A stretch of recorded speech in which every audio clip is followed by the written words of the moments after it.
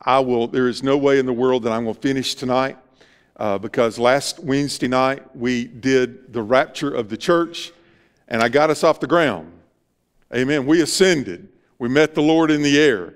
But tonight, I'm going from that point to the second coming, the millennial reign, and what happens with the new heaven and the new earth. Can y'all understand me trying to do that in one night? No, I agree. Uh, so let me pray, take off, and we will go. I'm going to really do this almost in outline form. And anything that we need to know more about, I'll be more than happy to go back and talk more in depth about those things. So let's go to the Lord in prayer. Father, I pray that uh, I want to be selfish and begin to pray for myself at the beginning of this prayer, Lord. You're in heaven and you're watching me. And I say, like I always say, Lord, forgive me of my sins. I want to come clean. Holy Spirit, wipe me away. I know that I am forgiven, but Lord, I want to acknowledge those sins before you. And I don't want to take those things for granted. So I will always want to be quick to confess my sins because when I do, uh, it, though those sins are forgiven, it puts me in right relationship with you. I don't want to hold on to anything. So, Father, I pray that you empty me of myself so that I can be filled with the Holy Spirit. I do pray for an anointing from above so that the words of my mouth will be your words, the meditations of my heart would be that would bring you honor and glory and praise.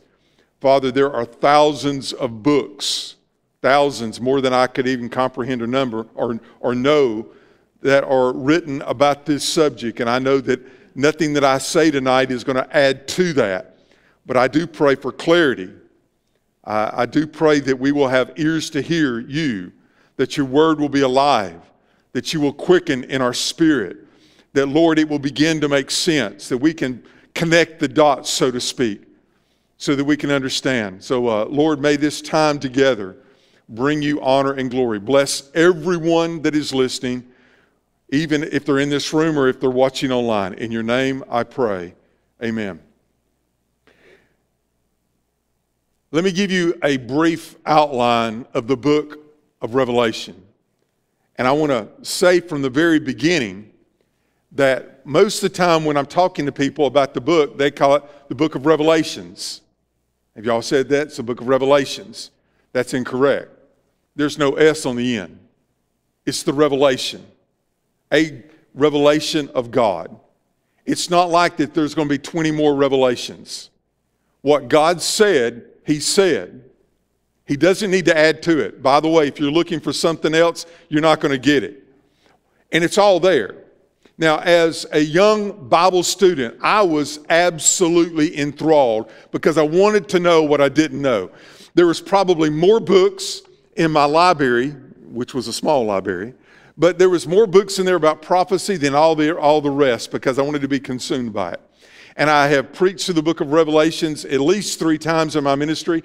I preached on parts of them at other times. Um, and, and people, one, one time they said, Pastor, why don't you write a book about this. And I'm like, hold on. There are thousands of books. There doesn't need to be another book. And I said, no, no, no. I'm not saying you're going to add anything, but so that you can be able to keep up with what you know. And the problem with that is, is that mine continuously changes. There's a, a great scholar by the name of John Phillips who wrote a book, I think it's one of the better books, on the book of the Revelation. And John Phillips said after he wrote the book, I mean, nobody, no ghostwriters, he put down every word. He said he didn't even agree with the book that he just wrote.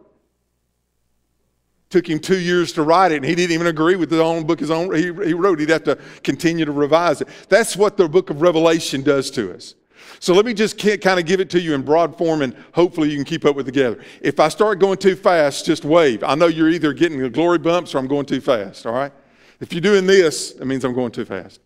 In chapter one, Jesus appears to John on the, on the Isle of Patmos and says, Write the things which you see. In chapters 2 and 3, the things which are, which is the church age. He wrote to seven literal churches that talk about those literal churches, but it also talks about types of Christian, and it talks also about how Christians will be in the, in the broad expanses of time. And then when we get to chapter 4, the things which will come, and that is future tense. So when you get to chapters four and chapters five, you see a picture in heaven. Now, in the book of Revelation, you're going to see it kind of go back and forth. It's like playing tennis. It's like they're going to kick it to heaven, and you'll see what's going on in heaven. Then they'll kick it back to earth, and you'll get a picture of what's going on the earth. And then you get to like chapters 12 and 13, and it's kind of like a parenthesis, and they'll go from Genesis to Revelation. They'll kind of talk about the whole gamut of how everything is together. So you've all, uh, because we live in time, we're, we're always caught up and we want everything to be chronological because it's easy for us. You're going to have to, you're going to, have to get more than that. There's nothing that's going to, if you put the pieces together, they are wonderfully put together. A is there, B will follow A, C will follow B. But you're not going to find any place here where you're going to just see it all together. It's going to do a picture of it. So in chapters four and five, we get a picture of the throne in heaven after the rapture. In chapter 6 through chapter 18, you get a period of what is called on the earth the Great Tribulation, or the Tribulation, excuse me. The last, last half of the tribulation, we call it the Great Tribulation. Then, when we get to chapter 19, the second coming of God, chapters 20, the millennial reign, and, and how those things will be. And then we get to chapters 21 and chapters 22, the new heaven and the new earth. Sometimes there will be people that will piece them, they'll get a little bit of this and a little bit of that, and they'll put them together and say, no, no, no, they're different things. For instance, in the Old Testament, there is much that is talked about the millennial reign. So when they were looking for the Christ, the Messiah, the king that was to come, the, the rod of Jesse, they were looking for that one that in the Old Testament was described as Jesus who will be there during the millennial reign. So when Jesus came on the earth, that's what they were looking for with the Messiah. And yet Jesus came humble. Jesus came as the suffering servant. He came to give his life on the cross of Calvary. He came to be our Savior and our Redeemer. They were looking for him to come as the one who would kick the government out and rule with a rod of iron. And really, they were, if, if Jesus had done that, they would have gone with him, just like Judas was looking for that one to come. And by the way, let's not just throw Judas under the bus. Uh, you know, James and John, the sons of thunder, they said, uh, you remember when the, they sent their mom to talk to Jesus and said, when you come back in your kingdom, can one of my sons sit on the right hand, the other son sit on the left hand? They were looking for that millennial reign where Jesus would rule the, the earth. Now that's coming. So they, they, they were getting their time frame mixed up. So tonight, we're going to look at what happens after the rapture. And, um, man, I got notes. I got to keep to this because if I don't, I'm going to be so scattered. Y'all all right, all right with that? All right. So let's, for us to do this right, we're going to have to go back in the Old Testament. So take your Bible, we're going to read a lot of scripture tonight, to the book of Daniel. How many of you know that you cannot understand the book of Revelation unless you understand the book of Daniel? I got no amens on that. As a matter of fact, it's backwards too.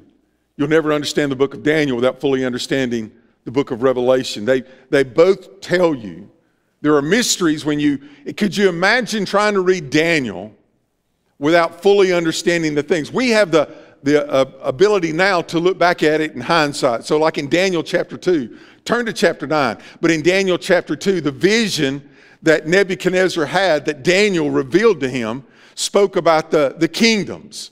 The, the, the, world, the world rule, that uh, there would be a kingdom that would wor- rule the whole world. The first one was Babylon. The second one was the Medo Persian Empire. They would overthrow Babylon. The third was the Greek Empire that would overthrow the, the Persian Empire. The fourth was the Roman Empire. And we know the Roman Empire imploded, but the, the, the kingdom that is yet to come will be the, the revitalized Roman Empire with the Antichrist as the one who is leading them. So that's what we see the 10 toes of that beast in, in Daniel chapter 2. But when we get to uh, Daniel chapter number 9, look in verse number 20. You there? Say amen. Now, while I was speaking, praying, and confessing my sin and the sins of my people Israel, and presenting my supplication before the Lord my God for the Mount holy mountain of my God, that is the holy people, group, the whole group of people together. By the way, verse 20 is a wonderful thing. Every Christian, if you don't know what you need to be doing, go look at verse 20, and that's a wonderful thing. That wasn't just something Daniel did. Oh, what it would be if every Christian today could follow that example, praying, confessing sin, uh, the personal sins, the sins of its people, supplic- uh, praying supplication for our families, our church, our world. That's a wonderful outline of things we should do. But while he was doing that, he says, Yes, while I was speaking in, in prayer, the man Gabriel, y'all know the angel Gabriel, archangel, the seraphim, whom I had seen in the vision at the beginning, being caused to fly swiftly, reached me about the time of the evening offering. And he informed me and talked with me and said, Oh, Daniel, I have now come forth to give you skill to understand. Understanding of Scripture must come from the Holy Spirit of God.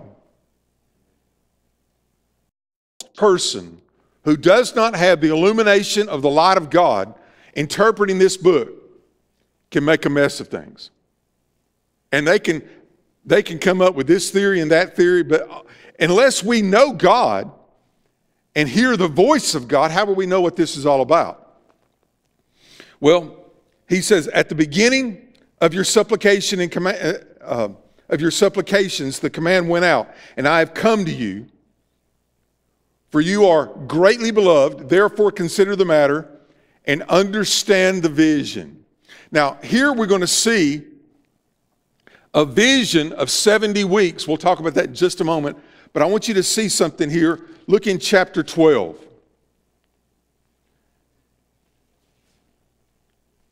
I wasn't going to read verses 1, 2, 3, but, but I want to get a running start at this. At that time, Michael shall stand up. Michael is the guardian angel, he is the angel assigned to Israel, the Jewish people. The great prince who stands watch over the sons of your people. And there shall be a time of trouble this is the tribulation, such as never was since there was a nation, even to that time. And at that time your people shall be delivered. Everyone who is found written in the book. Notice that book is singular. Not books, we'll talk about that later. But everyone written in the book, that's the Lamb's book of life. What is the, what is the, Lamb, the most important book in heaven? What is the Lamb's Book of Life? It is where every person who is a believer in God in Jesus, their name is written in the Lamb's Book of Life. So he says here that at that time your people, that's the Jewish people, shall be delivered, everyone who is found written in the book. And many of those who sleep in the dust of the earth shall awake, some to everlasting life, some to shame and everlasting contempt. We'll talk about that in a minute, but understand everyone who has a soul will be resurrected. Verse 3 Those who are wise shall shine like, the, shine like the brightness of the firmament, those who turn many to righteousness like the stars forever and ever. Verse 4 But you, Daniel, shut up the words, seal the book until the times of the end. So Daniel gets to this point and he's writing these things down. And Michael says, This is for the end times. But, but what I want you to do is take the book, this book that you're writing, and seal it. seal it. Shut it up. Now, understand, take a piece of parchment paper that they would write on it front and back, and they would roll it up, take wax, and seal it. And they would take a second piece of paper and roll it up on top of it and take the wax and seal it, put the ring on it and seal it, and take the third and the fourth and the fifth and the sixth and the seventh. So, this book that is being sealed, okay, until the end is seven seals, all sealed, put together. The point of it is, it is not for this time. It was given beforehand but it's not for this time. There will be a time. Now, what the Old Testament saints did not realize that when Jesus came, he would come as the suffering servant, the Savior, who would die on the cross of Calvary, who would be buried, but resurrected and ascended. What they did not understand was Pentecost forward, what we call the day of grace, the day of Gentiles, the church age. But when the rapture comes, that's coming to an end, and the tribulation will begin. So look what it says in verse 5.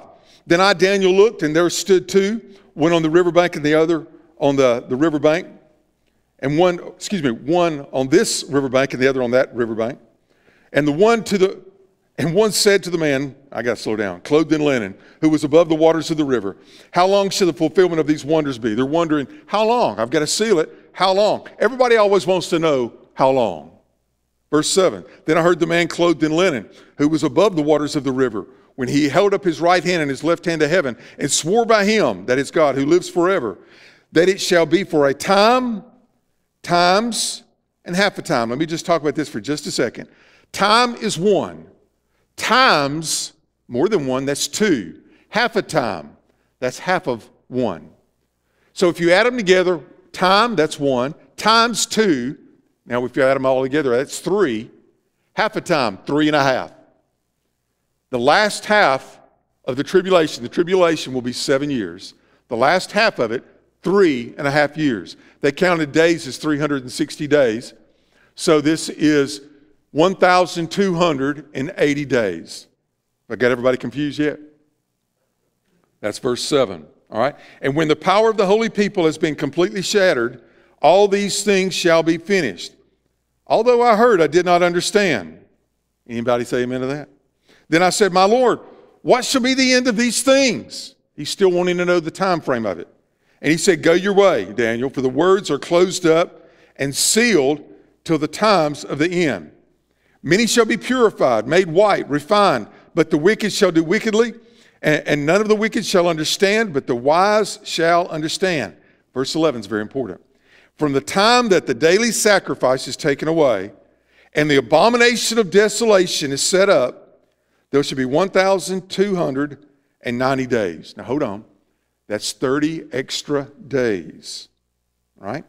Blessed is he who waits and comes to the 1,000 335 days. That's 45 additional days. Now, from the time of the abomination of desolation, 1,280 days.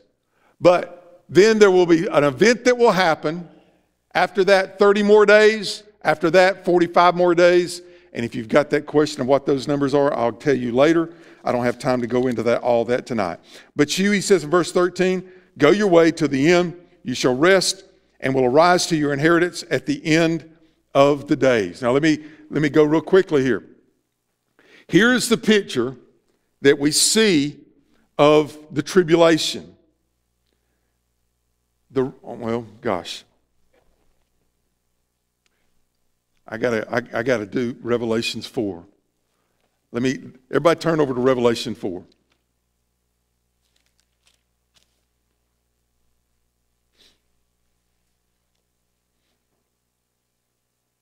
I want to talk to you really quick about the rapture and the second coming so that you'll see this.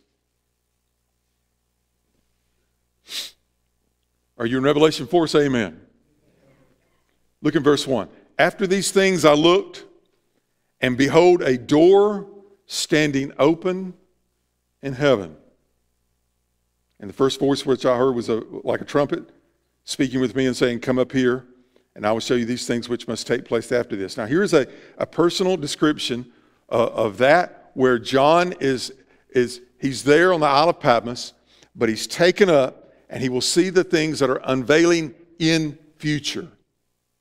He's still in time, living on the earth, but he's taken to that which is not guarded by time to a place in the future.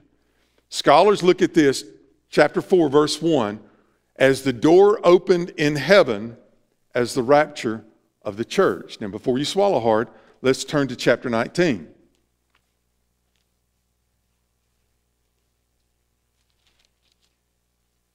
Verse number 11. In Revelation 19, verse number 11, you're going to see this is the second coming of Christ. Now I saw heaven open, and behold, a white throne, and he who sat uh, on him was called faithful and true, and in righteousness he judges and makes war. Once again, look in verse 11. Now I saw heaven open. Two times you see in the book of Revelation. One is at the beginning before all the tribulation begins. One is at the end of the tribulation, the end of that seven years, when he will come back. There will be a battle, we'll talk about here in a moment, called Armageddon. And Jesus will begin his reign on the earth for a thousand years. So let's summarize. All right. In the Old Testament, there are 70 weeks. There are 70 weeks. Seven weeks, 40, each one of those weeks is consisted of seven. So seven of seven years. Seven weeks of seven years, 49 years. He says, from the time that they announced the beginning of the rebuilding of the temple. Hezekiah, y'all understand those things? Of, that, of when they said, Darius said, you can go rebuild the temple. It took them 49 years. From that time, 62 weeks. Uh, that's 400, I believe, in 38 years. And that is 62 groups of seven. If you look at from the time that the temple was to be rebuilt until it was completed, until the time at the end of that 438 years, that's when the Christ would give his, well, when he would give his life. And you can date that. You can literally look at the dates on it from the times that that happened until the time that Jesus gave his life on the cross of Calvary. I don't know if that excites you, but if you like numbers, that's cool. Now, that's only 69 weeks. In Daniel chapter number 9, he says, But the 70th week, that group of seven, that's the tribulation years. That's why it's separated. That's why it's not yet. So the rapture occurs, chapter 4, verse 1. The door is open in heaven. Then in chapters 19, the door is open in heaven again, and Jesus comes back to begin his millennial reign. In between, is that seven year period. Now let's talk about the seven year period. Am I, am I, I'll, I'll actually take a time out. Is everybody cool? Everybody got it? All right. I know it's not because you have problems listening, it's because I have trouble speaking. So let's talk about these seven years. It consists of um, seven seals, the book being opened. Take your Bible, look in Revelation 5. the book that Daniel was sealed in Revelations 12. I mean, excuse me, Daniel 12. I told you I misspeak. When that book was sealed, I believe that's the same book that you see in Revelation 5. Read with me in verse 1, Revelation 5, verse 1. I saw in the right hand of him who sat on the throne a scroll written inside and on the back, sealed with seven seals. And I saw a strong angel proclaiming with a loud voice, Who is worthy to open the scroll and to loose its seals? No one in heaven or on the earth or under the earth was able to open the scroll and to look at it. This is John talking. So I wept much because no one was found worthy to open and read the scroll or to look at it. That book that speaks about the end time that Daniel was told to seal no one could open it, it was sealed. Verse 5 But one of the elders said to me, Do not weep. Behold, the lion of the tribe of Judah, the root of David, has prevailed to open the scroll and to loose its seven seals. Who's he talking about? Come on, you can say it loud. Say it loud enough they can hear you online. That's right, Jesus Christ. And I looked, and behold, in the midst of the throne, and of the four living creatures, and in the midst of the elders, stood a lamb as though it had been slain. I love the picture of this. He's still presented to us as a lamb. He's still the redeeming, redeeming one, the one who was slain for us. Now, as though it had been slain, that means he's alive and well. Having seven uh, horns, that is all, the seven's the number of completion all power. Horns are the symbol of power, and seven eyes, that is all understanding or all wisdom. He is omnipotent, all powerful, he is omniscient, he knows all. This is Christ, which are the seven spirits of God sent out into all the earth. Then he came and took the scroll out of the right hand, right hand of him who sat on the throne. Now, when he had taken, I'm going to go ahead and read, read on because I like this. And when he had taken the scroll, the four living creatures and the 24 elders fell down before the Lamb, having, each having a harp that is a symbol of worship, golden bowls full of incense, which are the prayers of the saints. Every prayer that has been prayed by the redeemed has been kept. Every prayer of God's people looking for God to come through for us, to be there for us, is kept. Who is worthy to be that, that, that lamb? Who is worthy to be the Redeemer? They're worshiping, sing, verse 9 said, they sang a new song saying, You are worthy to take the scroll, to open its seals, for you were slain and have redeemed us to God by your blood out of every tribe and tongue and people and nation, and have made us kings and priests to our God, and we shall reign on the earth. The angels actually sing too. They sing, Worthy is the Lamb who was slain to receive power and riches and wisdom and strength and honor and glory and blessing. And, and the four elders and the 24 um, living creatures, they, say, they come singing blessings and honor and glory and power be to him who sits on the throne and to the Lamb forever and ever. So Jesus comes, he takes the scroll, and he begins to open them. He breaks the seal, and those seven seals are opened.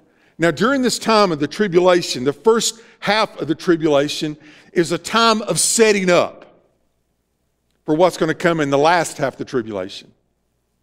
Now, that's where we're going to see these seven seals. Now, the seventh seal is the blowing of the seven trumpets. And the blowing of the seventh trumpet is the seven bowls of wrath that are poured out upon the earth. So the speed of these things starts speeding up.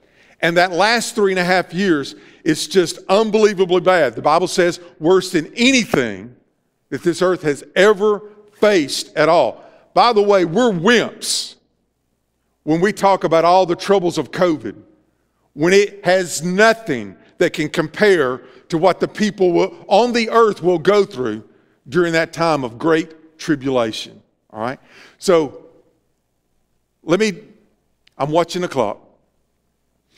Um, let me talk to you about why the tribulation, why this seven year period. I think it's clear from Scripture that Israel has always been God's chosen people. And they turned their back on the Christ. They crucified the Christ.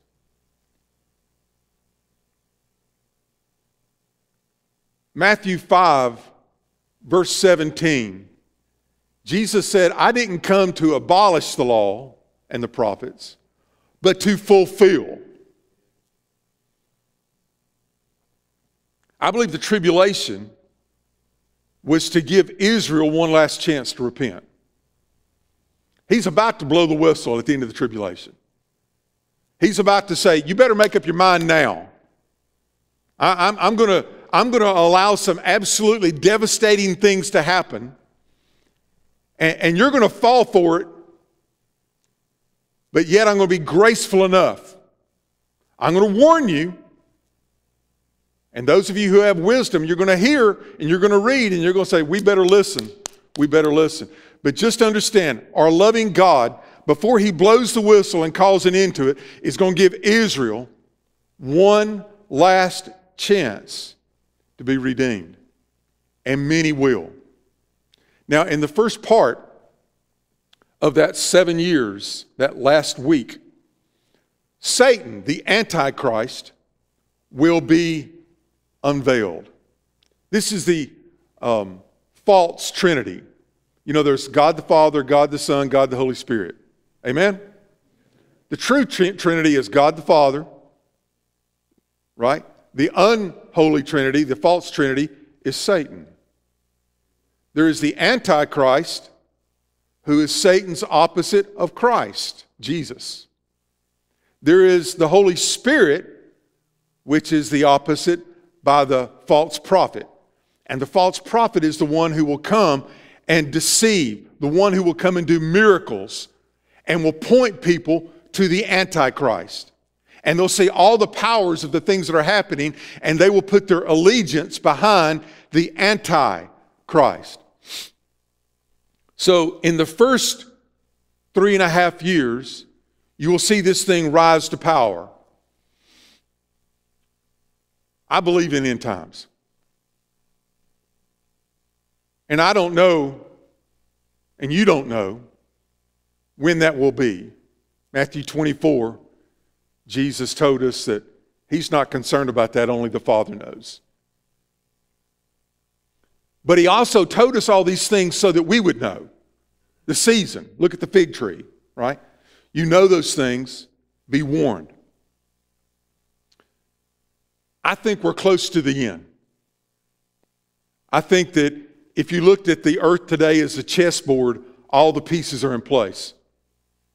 All we really need to have happen is for the trumpet to blow, the rapture of the church to come, and the tribulation to begin on the earth. Now, if, if that happens tonight, that would tell you that the Antichrist is already alive. I will tell you that when the rapture of the church happens, the Antichrist will be alive on the earth and will have an influence. Because once the Holy Spirit, who lives within the believer, right?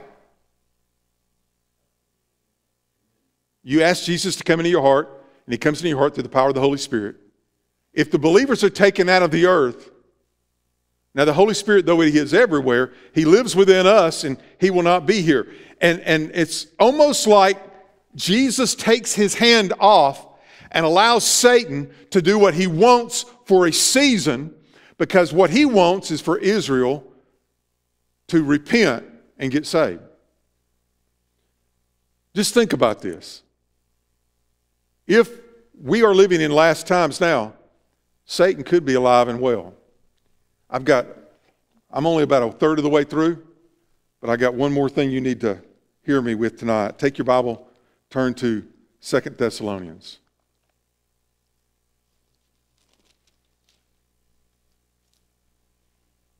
You know, I, I, I, really got to the point where I, I don't preach a lot on prophecy. I really don't. Um, you haven't heard me do it since I've been here a lot of people are just wound up about prophecy. They just wound up about it. A lot of people are also wound up about heaven. And I'm grateful to know about heaven. And I'm grateful to know about prophecy. But I, I find that there are a lot of people that that's all they care about, that's all they're thinking about, is that when I'm, I'm trying to deal with what am I doing today, if that makes sense, being faithful in my today. But I will tell you, and um, my head has been spinning because I have read so much scripture this week. Um, if you think I'm throwing it out to you, I'm, I'm not, I've barely thrown out some of the stuff that I've read to be reminded of.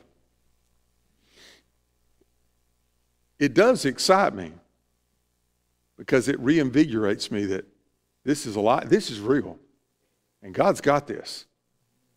And the thing that I see today is a lot of people who are very fearful, and we really shouldn't be fearful.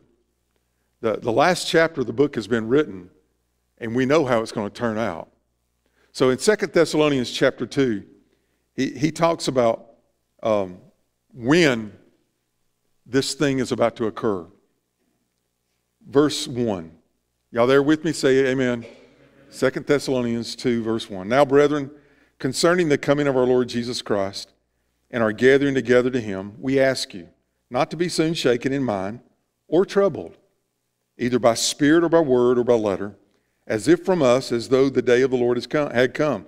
They had been told that the, the day of God, the day of Christ was done. It was over with, that there was nothing coming in the future. He said, let no, let no one deceive you by any means, for that day will not come unless the falling away comes first. And the man of sin is revealed, the son of perdition. I want you to look at that word there, falling away. That's what the New King James says. It's uh, the Greek word apostasia, not apostasy, apostasia. And it means uh, to uh, a rebellion, or get this now. That's what a lot of people, when they read this, they say, well, in the last days they will depart. The love of many will grow cold. That's true. Matthew 24, he says the love of many will grow cold. But this word, it means not only, um, um, it also means a departure, a rebellion, or a departure. A departure. Now look at this. Let no one deceive you by any means, that for that day will not come unless the departure comes first, and the man of sin is revealed, the son of perdition. Most people believe he's talking about the, the, the Holy Spirit being taken, out, taken away that will come with the rapture of the church. And here, when he's talking about this Antichrist, Satan's Christ, who opposes and exalts himself above all that is called God or that is worship, so that he sits as God in the temple of God, showing himself that he is God. That is what is going to be called the abomination of desolation that Daniel talks about and Revelation talks about. Verse 5 Do you not remember that when I was still with you, I told you these things? And now you know what is restraining. What is keeping these things back from happening? Who is it that's keeping these things back from happening? Now you know what is restraining, that he may be revealed in his own time. For the mystery of lawlessness is already at work. Only he who now restrains will do so until he is taken out of the way. Who is restraining?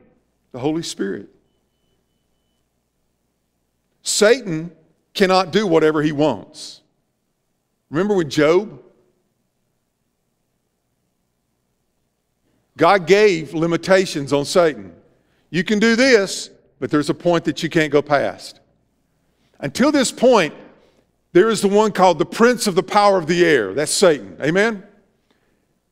Temporarily, he's doing some ugly stuff. There's some terrible things that's happening in this earth.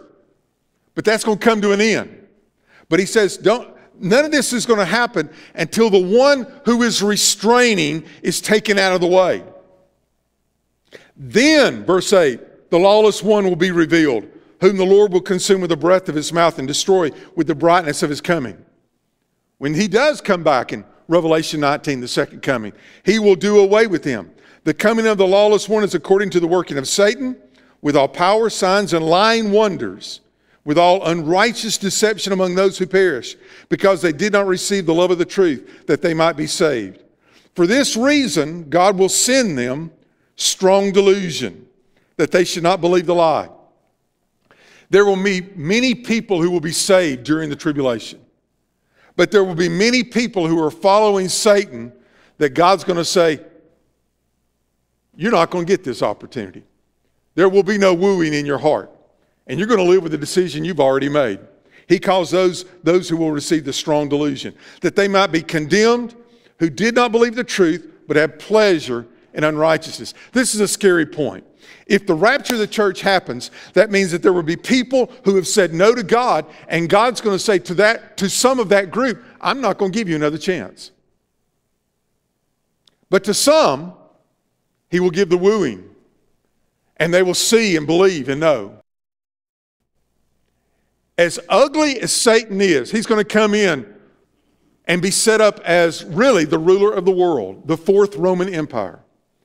He will rule politically out of Europe, but the whole world will follow him.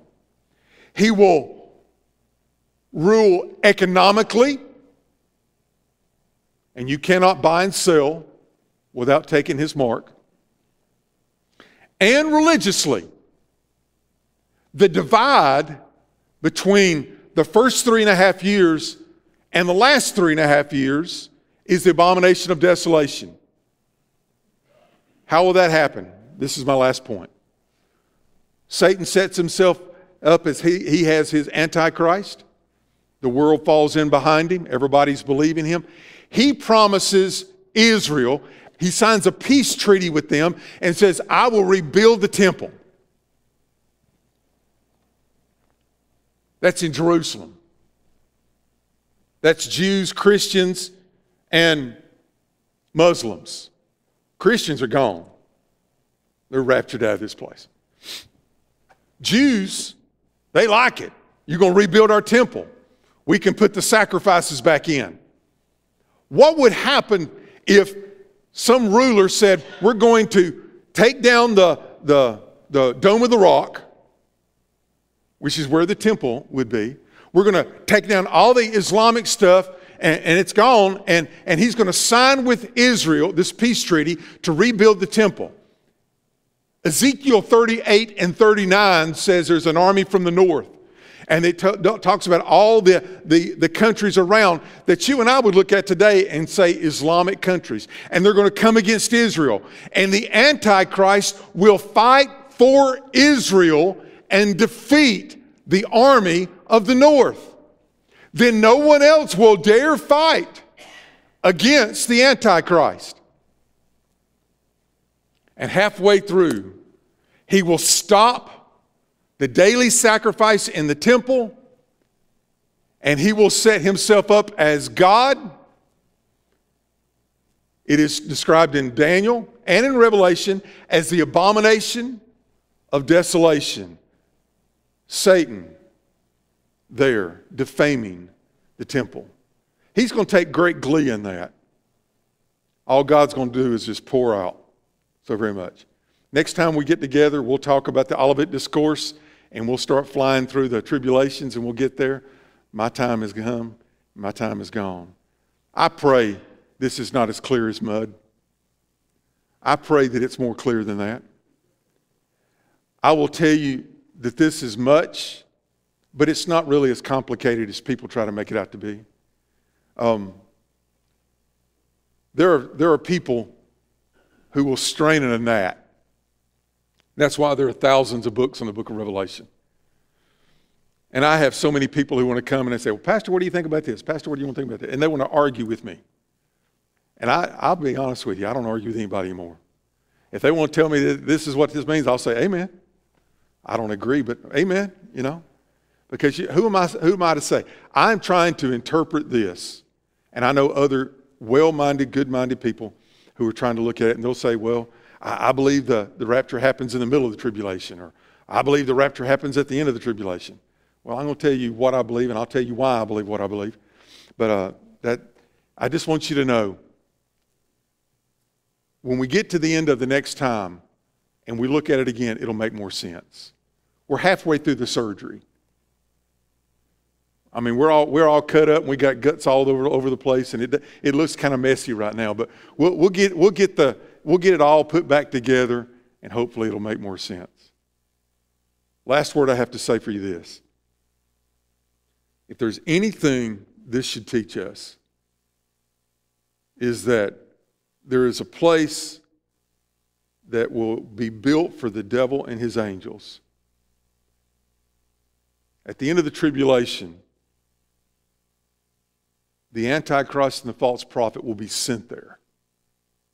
Satan will be put into the bottomless pit for a thousand years, but they'll be sent in that lake of fire. I think it should tell us that people who die that do not know Jesus Christ as their personal Savior and Lord will be separated from God in a place that He called a lake of fire. Weeping and gnashing of teeth. That should, we should be rejoicing that our names are written in the Lamb's book of life.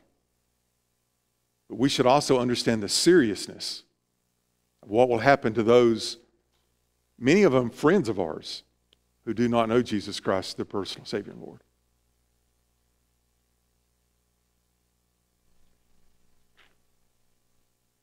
Lance, if you'll go back up and turn that thing off, I'm going to pray a prayer. I appreciate it. Father, I love you. Oh Lord, I feel like I've rushed. I hope I've communicated. I've read a lot of scripture. Our minds are so easily distracted. But you told us in the book of Revelation that there is a blessing that you promise to every one of us that read it. No other book promises that. I know that. I'm agreeing with you. And I'm praying that fulfillment of that prophecy in our lives. that we will be blessed with a new energy and excitement. And yes, Lord, a, an understanding that we need to be redeeming the time because the days are evil. We only have a certain amount of time. So let us be the church. Let us rejoice. Lord, let us be on mission. May the last words that you said to us before you ascended be the first words that we take to live out today. In Jesus' name I pray. Amen.